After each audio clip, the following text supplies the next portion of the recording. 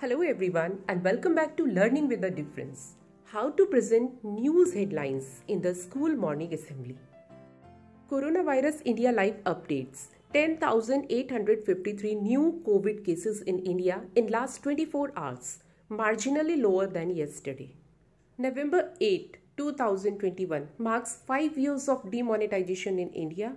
On this day in 2016, in a televised address at 8 pm, Prime Minister Narendra Modi declared demonetization.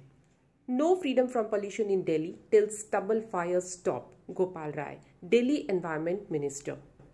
The rainfall in Chennai and neighboring districts of Tamil Nadu on Saturday night and Sunday left most of the city underwater.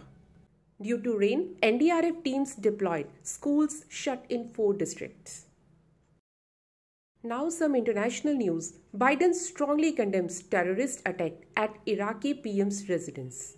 Some sports news. T20 World Cup. India ousted as New Zealand clinch semi-final spot with comprehensive win over Afghanistan. End of an era. Shastri Kohli partnership eyes winning end to significant chapter in Indian cricket. T20 World Cup. Mohammad Rizwan sets new world record, surpasses legendary Chris Gayle. And that's all. Thank you. Have a nice day.